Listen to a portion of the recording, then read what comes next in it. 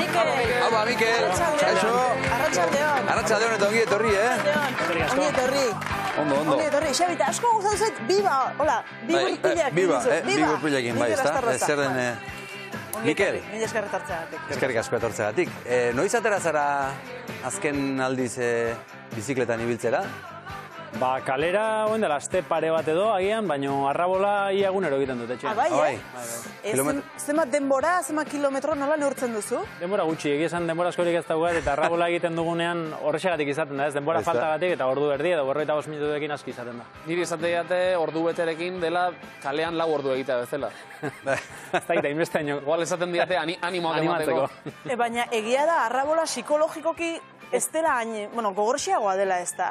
Etxean geldirik eta segi, eta segi, eta segi, eta segi. Bai, egia esan aspergarriagoa bada, ez? Azken finean e, biziketa kalean ibiltzeko gina dago eta eta ez dakit parejeaz disfrutatzeko. Baina tira, denbora gutxi dagoenean, ba, arrabolak ematen dizu horrelako aukera, ba, ba, ordu erdi eskaz batean, ba, izerdi pixkat egin eta etankak mugitzeko. Ateratzen du se- segulako zarata gainera. Egia da. Bai. Zue garitzen zarete baita? Batez ere konfinamenduan ateratzen zituen sekulako zaratak, ez? Ez? Etxe guztia sutan horrela, arrabola guztia martxan jarrita. Aizu, Mikel, txirrindularia izatearen zer da? Betirako? Nik uste baietz. Azken finean, e, bueno, txinolari profesional izan nintzen, baina gaur egun oraindik ere ba, txinolari izaten e, sentitzen naiz, ez? E, ez dakit txiki txikitatik biziketa nuen gustokoen kirola, eta gaur egun alaxe da. E, Mikel, zure ibilbidea kolore laranjari lotuta dago, nahi eta nahi ez? Euskal Herriak behar du bere talde propio indartsu bat? Ba, izalantzarik gabe. Azken finean, e, 2008an desagertu zen e, ni aritu nintzen Euskal Tele, Euskadi talde hori, eta pena handia izan zen, ez? Txinolari handiak zeuden, e, maitza politak e, lortzen genituen, eta, bueno, utxune handi xamar baten ostean, berriz ere lortu dute ba, Euskal Tele Euskadi sortzea edo, edo bir sortzea, eta gaur egun ere, ba, bueno, poliki-poliki handitzen ari da, eta nik uste e, gauza handiak emango dizkigula. Eta Euskal txirrindulari gazteentzat ere beharrezkoa da horrelako talde bat erreferente izatea, ez da? Ba, Pro Tour mailara iristeko errazago izateko, ez da, adibidez? Zalantzarik gabe, azken finean, e, ez dakit eredu bat behar da, ez? Eta, eta txilonari gazteek, ba, nolabait ere behar dute pixka bat, e, euren burua, ez dakit nun, nun ikusi edo nun amestu, ez? Eta horretarako, ba, goi mailan talde bat eukitzen ikuste ezinbesteko dela, eta zorionez gaur egun, ba, ba alaxe da. Euskal Tele Euskadiren koloreak Frantziako turrean bereziki gustora ikuste genituen horre kolore laranjarekin bi aldeak beteta, zuk nola oroitzen dituzu barrutik? Bai, Momentu haiek. oso oroitzapen hona daukat, e, Euskaldelen aritu horretik, e, age biharre talde frantsesean aritu nintzen, e, talde txuri urdina zen ura, eta beti esaten dut, Euskaldunak berdin-berdin animatzen zidatela, naiz eta Euskaltel taldean ez egon, eta gero, ba, Euskaltel taldean arituta, oraindik ere, ba, ba, bueno, e, berotasun handiago ere somatzen zen, ba, bazken finean, laranja kolore hori beti lotu delako, ez, Euskal txilnoaitzarekin. Eta, eta nola zen eh, laranja kolorearekin eh, marea laranja horren artetik pasatzearen momentu hori nola bizitzen du batek barrutik hori? Ba, olioi purdiarekin. Eta, eta egia da, ez nik uste berreun kilometro biziketan egin ostean, ez dela erresa agian olioi purdi zentxazio ukitzea, baino turmalet edo, edo alpedu ez bezalako mendateak igota, naiz eta berreun kilometro zangoetan euki, ba, ba esan sekulako ilusio egiten zuen, Ba, bueno, horrako afizia ondia eta, eta batez ere errespetuzkoa, ze nik uste nabarmendu behar dela oso errespetu hondiko zalegoa euki dugula beti, ba oso oso berezi izan da beti hori. Pero egia Euskaltelek taldeak beste ekarpen batera egin zuela, jendeari eman ziolako aukera, e, kamiseta laranjak eta jazteko. Ez da kolore erraza jantzeko laranja, bestela. Bai. Bai. Takit saiatu zareten sekula. Hori bestela Ez da gainontzean. butaneroarekin lotzeko itura egon da beti, ez? Baina ja hori ere galtzen Hori ari ere da. galtzen ari da. Orduan horrekin atera zintezkeen... Zegilaz. Arrotasunez laranja ziatzen Bai. oso ongiantxon. Pulsometroak gora egiten du horrelakoetan. Zuze pulsometroa izaten duzu, eh? Ba, egia esan ez sekula, fijatu hor, momentu horretan gora egite ote duen, eh, azken finean esfortzuarekin egiten duelako gora bihotzak edo bihotz taupadak, eta egia da, ba, ba, bueno, e, emozio puntu horietan eta zalea asko animatzen ari den puntu horietan, ba, indarrak ez dauden tokitik ere ateratzen dira, eta bueno, apur bat gehiago estutzeko aukera ematen du beti. Eta ze sentitzen du batek turrean bere burua zure kasuan bezala hain aurrean ikustean? Bueno, ba, nik uste txinulari gehien ontzat turra izan dela beti lasterketari garrantzitsuena, e, osperik handiena ba, turrak dauka, eta nik buru belarri prestatzen nuen urtero, niretzako helbururik nagusiena horixe izaten zen, Eta zure burua ba hor puntan ikustea ba argi dago amets bat betetzea dela, ez? Azken finean e, txiki txikiratik amestu duzun hori lortzea edo edo bertan egotea eta eta uno gainera ba, ba aurrea xamarre ibiltzea ba oso oso polita da, noski. Batzuk badira giro zaleak edo buelta zaleak, tur zaleak zu, Ni turzalea zalantzari gabe.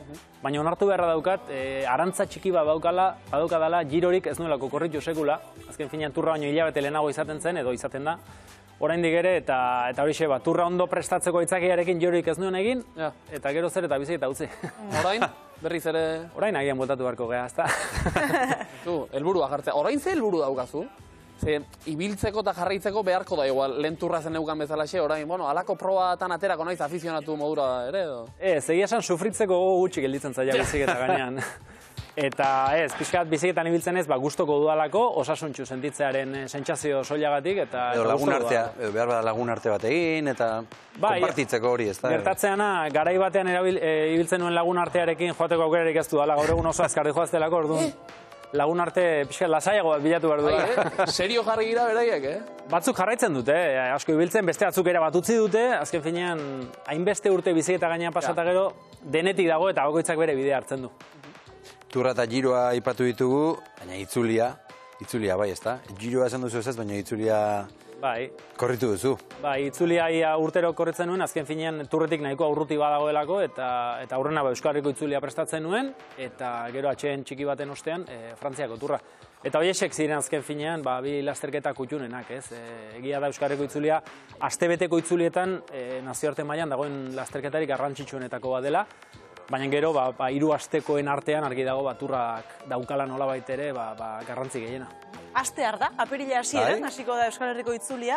Nor ikusten duzu favorito, Mikel? Bueno, ikusi behar nortzuk etortzen diren, baina argi dago, ba, ba, demoraldi hasi duten moduan e, ikusita, ba, Roglic eta, eta Pogacar izan daitezkela ba, ba, garaipeneko borroka horretan, eta ondarra bain erlojupeko batekin hasiko den ibilbideak, e, ba, lehenengo egunetik ja, arreta handia eskatuko die txilunariei, eta beti nik uste te erabaki horra izango dela, eibarren eh, ospatuko den azkeneko etapa hori.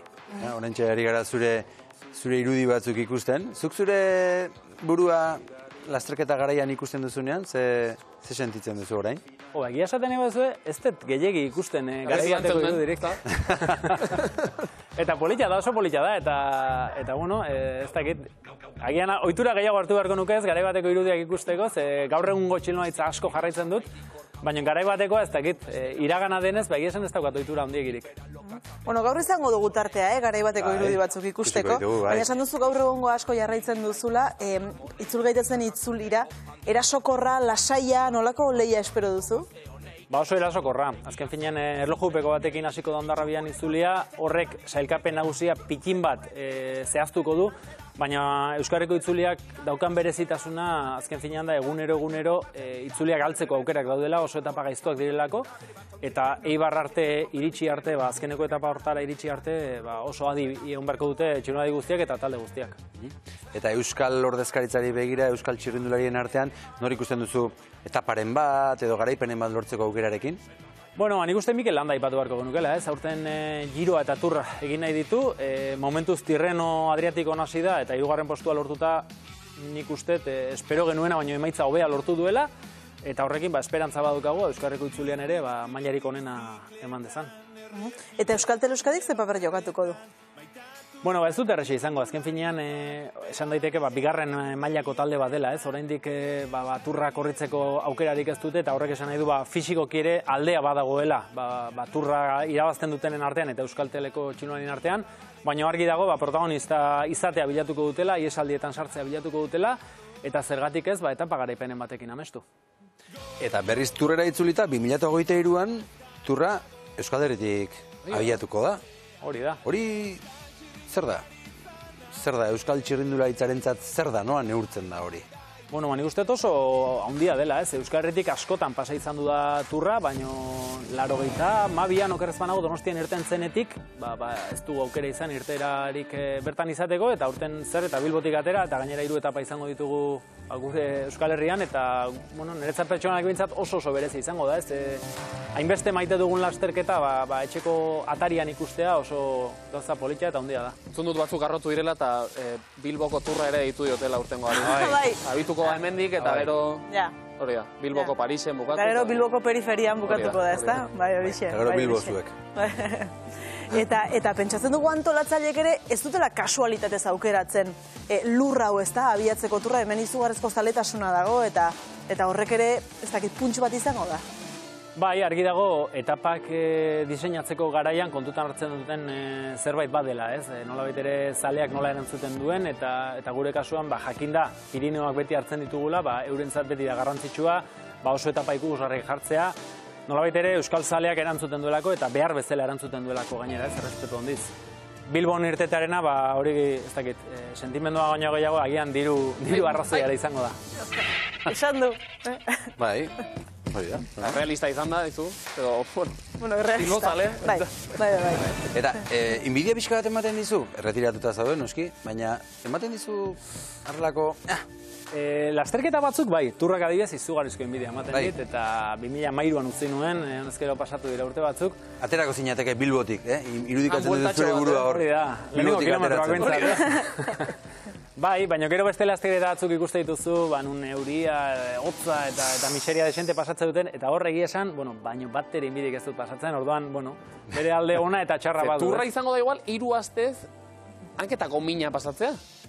Orokorrean txirrindulari baten bizitza da hanketako minarekin bizitzea. Egia da, eh, Andaluziako itzulia korrituta ere hanketako minakin eh, aritzen zera, baina turran, eh, ez dakit nolabait ere, estremora eramaten da egoera hori, eta hain etapa luzeak dira horrelako beroa egiten du, eta horrelako maila dago txa- lasterketa horretan, ba, benetan nekea lehenengo gunetik azkeneraino oso oso handia dela. Zer da gogorrena txirrindulari batentzat? Ze kanpotik ikustea egia da oso kirol sufritua ematen duela, zerrekin sufritzen da gehien? Ba, nik uste, e, askotan pentsatzen dela, gian etapak irauten dituen bost orduak edo direla gogorrenak, eta nik ez nuke esango hori denik e, gogorrena. Azken fina txirulari bat, e, txirulari da hogeita lau orduz, eta urtean irureunde irurogeita bost egunez, ez? E, egunero entrenatu behar da, e, ez dakit, e, jakiak zaindu behar dira, e, atxeen asko hartu behar da, eta nik uste, e, bueno, ez dakit, monje bizitza hori edo eramatea dela agian e, gauzarik gogorrena. Gorpuzkera alakoa dute, eh? Hori da. Erdi monje, nahi, erabat, ihartuta egoten direlako denak. Bai, bai. Azken finean nik uste gogorrena hori dela. Bueno, zu txirrindularitzari bizikletari lotuta jarraitzen duzu, eh, neurri batean. Ez, azalduko diguzu zer den txirrindor. Bai, ba, txirrindor sortu nuen, e, ba, bizita utzi nuenean, txilnolariak entrenatzen hasi nintzen e, aurrena, eta gero, bigarren pauso bezala, azterketa biomekanikoak egiten hasi ginen. E, hori da, nolabait ere, txilnolariaren posiziorik egokin abilatzea bizikleta gainean.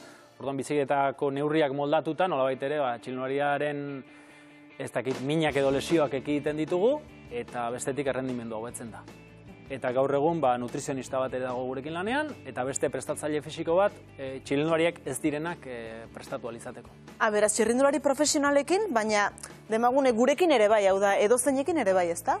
Bai, momentu honetan ba, berroita martxinaletik gora ditugu eta oso oso maila desberdinekoak. E, batzuk, ba, ez dakit, Espainiko txapelketa prestatzen ari dira, eta beste batzuk berriz, ba, ez dakit, kebranta hueso zen, e, ez dakit, zazpi orduko marka hobetu nahi dutelako, aitzaki horrekin e, prestatzen da, eta, bueno, danetariko txilinoria dauzkagu, bakoitza bere helburuarekin, eta, bueno, ba, helburu horiek betetzen saiatzen gara. Naden sartu baituzu alde berean, edo nor esan duzu, Bai. ni aritzen nahi zehar zailuz. Bai, bai. Bai, bai. Zuek, eh, Baina, adibidez, eh, alturarena, ez dakit, eh, gorpuzkera perfektua zein da, esan egut, Antxon oso altua da. Eta zuere, Zu ere mutil altua zara, bai. Eh, alt, altua izatea ona da, ez da, eh, hobeto da bajuixiago izatea, ez da, idor badago uste ez dagoela idealik. E. Gauza da, geroz eta altuago izan, ba, ulertu daiteke lautadan hobeto ibiliko zarela, eta geroz eta txikiago edo harinago izan, ulertu daiteke ba, maldan gora hobeto ibiliko zarela. Orduan, ba, bueno, e, gorpuzkera bakoitzak e, egokitzen da nolabait ere ibilbide bati edo besteari. Gertatzenak gero etortzen dira, ba, indurain bezalako gizarsemeak, eta da. molde guztiak apurtzen dituzte, eta igotzen ere onena bihurtzen da. Halaxe da. E, larogi kilorekin ia. Egi da. Nirea perfektu ez da, zukia. O, Zalantza hori bazen, argituko dizun eronek, jabetu naizia. Bai, ez da? Bizikletan ibiltzea gustoko duen pertsona bat animatuko zenuke? Proba bat prestatzera, hemen Euskal Herrian proba polita ditugu, Bilboko klasikoa, Donostia Baiona Donostia, eta gehiago. Bai, datozen bi asteburuetan gaina izango dira, bai Bilboko eta bai Donostiko klasiko edo martxa zikloturista horiek, eta egia esan, ba, txinurari asko eritzen dira bertan, oso maila desberdinekoak, batzuentzat helburua ba, aurreko taldean iriste izan daiteke, eta beste askorentzat ba, bukatzea bakarrik, ez? Nik uste eh, bukatze hutsa ere badela nahiko meritu, azken finean biziketa gainean egun dago kilometro edo egun da berrogeita hamar egitea, ba, bueno, ez dago edonoren... eh, Ba, zerbait, bai. eh, aukera, Bai, bai. eta... eta... Hemen animatu jendea ez da egin behar, eh? Bizikletan hasi. Jendea ia badabil, asko gainera, eh? Bai, ez da? Eut, ez, desagertzeko zorian, txirrindularitza, Ez.